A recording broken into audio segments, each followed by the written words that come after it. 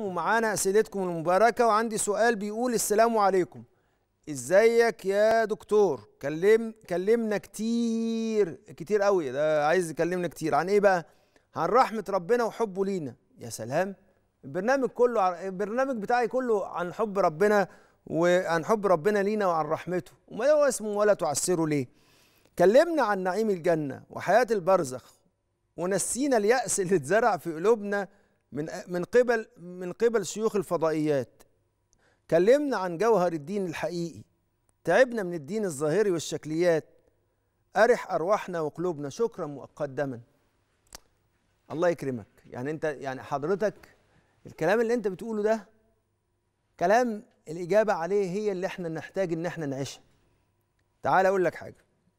يا سادة إحنا مصريين في تعاملنا مع الدين الحنيف أنا بقول ليه إحنا المصريين؟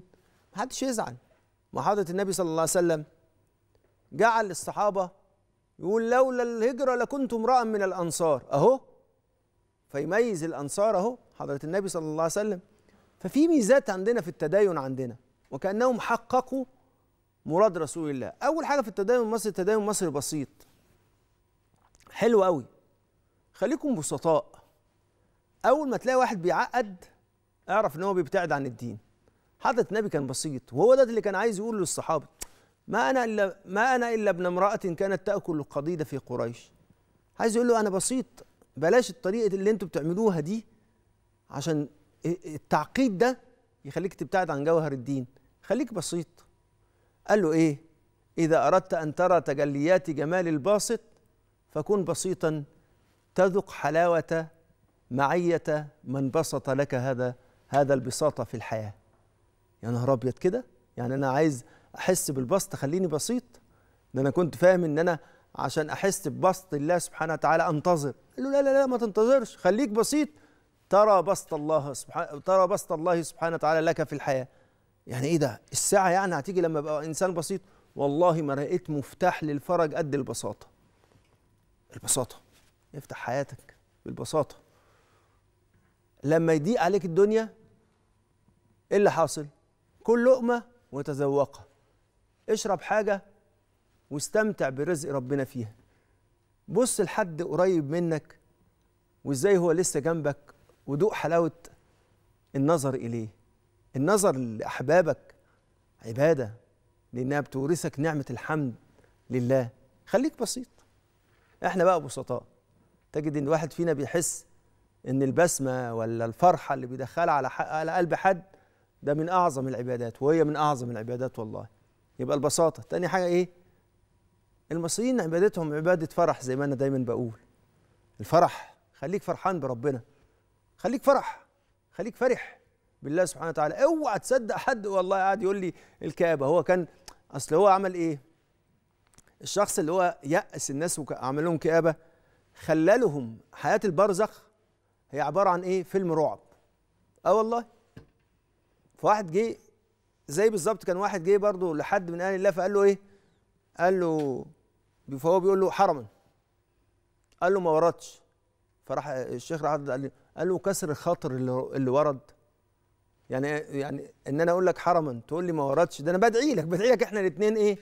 نكون في الحرم. فتقول لي ما وردش. قال له يعني كسر الخاطر اللي ورد. آه ده هو عبقري. ده جواب عبقري. جواب عبقري بيقول له إيه؟ هو كسر الخاطر اللي ورد يعني إذا ما كناش نفرح بربنا ما نفرحش بقوله تعالى قل بفضل الله وبرحمته فبذلك فليفرحوا. إذا ما فرحناش بفضل ربنا ونعمة ربنا عايز مننا إيه؟ أنت عايزنا كلنا نعتقد إن إحنا يعني نسيء الظن بالله إن إحنا هنتعذب في القبور. طب أمال مين اللي هيتنعم في القبور؟ فواحد برضه من نفس الطريقة قال له يعني هو كسر الخطر اللي ورد فبيقول له إذا كان كل المؤمنين المحبين لله هيتعذبوا في القبر أمال مين اللي هيتنعم فبيقول له يعني إذا كنا كلنا هنتعذب ما تسيبني يا أخي أظن بالله أحسن ظني بالله ويبقى عندي أمل ورجاء في الله إن أنا أكون من أهل نعيم القبر. قال له ليه؟ قال له ليه؟ قل قال له اديني أمارة. والله لو هو صادق يقول له امرتي إن أنا عندي حسن الظن بالله وأمل في الله وربنا ما يخيبش مسلم. لكن هو لازم ينكد عليه. وما يسيبهوش غير وهو حاسس بذنوبه وبأوحاله وبكل حاجة فيحسسه إن مفيش حاجة بينه وبين ربنا. الطريق اتقطع. أنا بسميهم دول قطاع الطريق. اللي بيسببوا أنا بسميه قاطع طريق الطريق إلى الله. أنا دايما بقول قطاع الطريق دول والعياذ بالله دول من أهل الكبائر. وأشد منهم ارتكابا للكبائر الناس اللي بيقطعوا الطريق الطريق إلى الله ويكونوا صادين عن سبيل الله. كمان التدين عند المصريين كمان في طيابة. عارفين الطيابة؟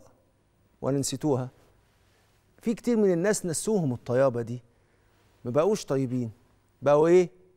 لازم نقف ونقول الكلام ونكون صرحاء. دي مش مصالحة دي مجارحة. أنت إنسان جارح أنت إنسان فظ. أنت إنسان جاف اللسان. انت انسان حاد اللسان. انت قلبك خشن. ما فيهوش لين. انت مش سهل. انت مش لين. انت مش طيب يا فندم. التدين عندنا كان تدين الطيبين. فاحنا بنحب الطيابة. والتدين عندنا تدين النور. نشوفه منور. وشه منور وقلبه منور. ودي رابع حاجة. خامس حاجة إن التدين المصري تدين ابتكاري. يبدعوا. يطلعوا شنة رمضان يعملوا مسائل الكلاب. يعملوا حاجات كتيرة جدا جدا يبدعوا. إيه اللي حاصل؟ لكن جابوا لنا بقى التوسع بمفهوم البدع اللي هي البدع يعني كل ما لم يفعله النبي حرام. طب نقفل يعني نعمل إيه في المصحف؟ نعمل إيه في علم الفقه؟ نعمل إيه في كل ده؟ أهو ده اللي ضيقوا بيه على الناس. ونسيوا إن البدعة ليها أحكام خمسة. في بدعة واجبة وفي بدعة مستحبة وفي بدعة مباحة وفي بدعة مكروهة وفي بدعة حرام. كونك تخلي كل البدع حرام انت كده بتغير أحكام الإسلام. يا سادة إحنا عندنا حاجات كتيرة لازم نتعلمها. لازم نتعلم إن الله سبحانه وتعالى المستغني عنا ما جعل لنا في الحياة إلا ليفتح علينا أبواب السعادة. أنتوا كنتوا شوية إحنا كنا من شوية مع مع رمضان وربنا قال لنا إن أول يوم في رمضان تفتح أبواب الجنة والكريم إذا وهب ما سلب. أبواب الجنة مفتوحة وأبواب الكرم مفتوح. فاعبدوا الله سبحانه وتعالى واطلبوا أن أن نكون عبيد فضل. اللهم اجعلنا عبيد فضل واجعلنا عبيد حب واجعلنا عبيد ود واجعلنا عبيد حنان واجعلنا عبيد سكينة واجعلنا عبيد عطف واجعلنا عبيد كرم. فإن كل ذلك هو اللائق بك يا رب العالمين. فعملنا ما يليق بجودك ومحبتك ولطفك فأنت الكريم وأنت الودود وأنت الرحيم. نقسم عليك برحمتك وبحبك وبلطفك أن تملأ قلوبنا بمحبتك وأن تملأ قلوبنا بالطمأنينة إلى جنابك. يا رب العالمين يا أكرم الأكرمين واجعلنا نسير على سير حضرة النبي المصطفى الأمين فتملأ قلوبنا برحمته. وتملأ قلوبنا بجماله وتملأ قلوبنا بمودته. يا كريم يا ودود يا رب العالمين.